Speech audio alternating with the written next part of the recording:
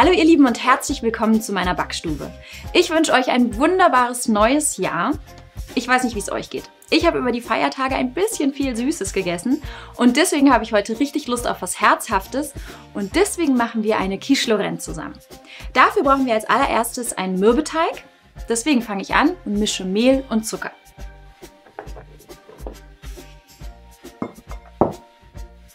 Ihr seht, das ist nicht so viel Zucker. Der Teig wird dadurch auch gar nicht süß.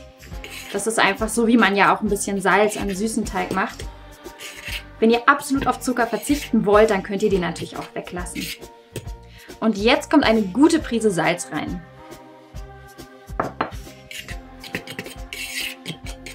Als nächstes kommt Butter an den Mürbeteig und die werde ich gleich mit der Hand unterkneten, dass es so eine bröselige Masse gibt.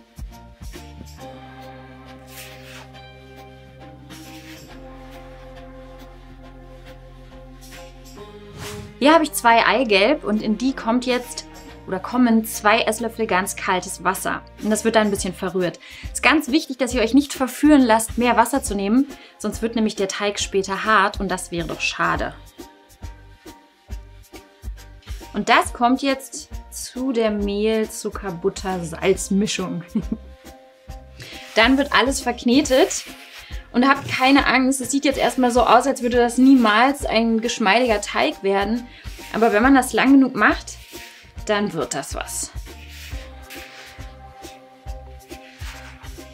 Hier ist der fertige Teig.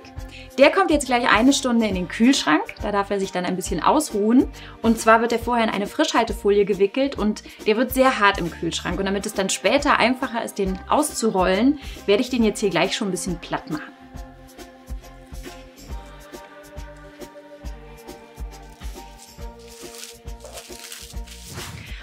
Unser Teig ist jetzt eine halbe Stunde im Kühlschrank und wir kümmern uns jetzt schon mal um die Füllung. Und zwar machen wir die mit Creme Fraiche, ich schon mal hier, Gruyère, das ist Schweizer Käse. Wenn ihr möchtet, äh, könnt ihr jeden anderen aromatischen Hartkäse nehmen, zum Beispiel wenn ihr Emmentaler zu Hause habt, das geht natürlich auch. Und Speck, um den kümmern wir uns aber gleich erst. Und Eier. Wir haben Eier und zusätzlich noch Eigelb. Das habe ich vorher schon getrennt. Hier ist das Eigelb. Das Eiweiß habe ich aufgehoben. Das brauchen wir nämlich gleich auch noch.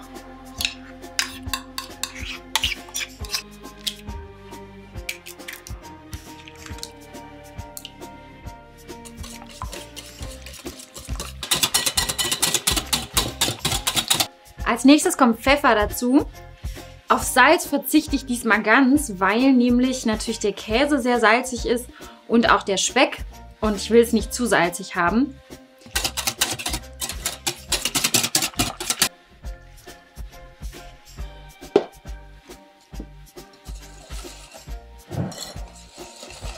Der erste Teil der Füllung ist fertig.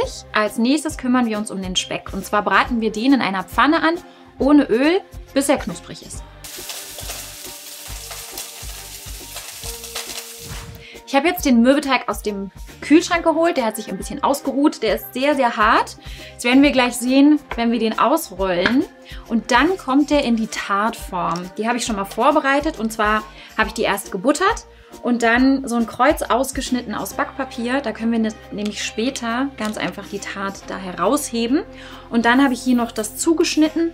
Das könnt ihr ganz einfach machen, indem ihr die Form auf das Backpapier setzt. Dann zeichnet ihr mit dem Stift außenrum und dann schneidet ihr das aus. So, also dann.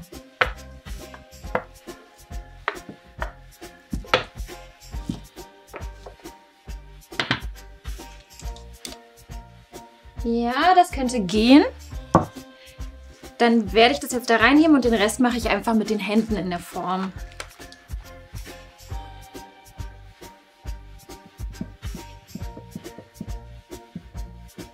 Und alles, was jetzt noch übersteht, das schneide ich einfach so mit dem Messer ab. Jetzt ist der Teig fertig, die Füllung ist fertig und was wir jetzt machen ist, ich habe euch ja gesagt, wir brauchen das Eiweiß noch. Wir nehmen einen Pinsel und pinseln den Boden mit dem Eiweiß ein. Das wird nämlich verhindern, dass später die Füllung den Teig matschig macht und so müssen wir nicht vorbacken. Als nächstes kommt der Schinken auf den Teig. So, verteile ich jetzt noch ein bisschen. Und als letztes kommt die Füllung da drauf.